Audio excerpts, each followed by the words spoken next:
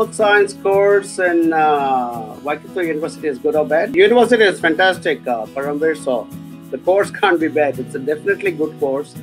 Uh, I'm just would be a little concerned about the scope of future because let's say like for instance somebody is doing a business course, I can confidently say there'll be plenty of opportunities. Somebody's saying I'm coming to do a course in IT, I can confidently say there'll be plenty of opportunities. But somebody asks or tells me that they're coming for a specific course like sports science, uh, it may not be as many opportunities. There could be. I mean, I don't want to say that there are no opportunities, but obviously there will not be as many as, as the others. So you need to choose it very carefully. But then, you know, the health and fitness industry in New Zealand is growing quite dramatically. So there could still be opportunities. Paramveer, why don't you get in touch with us?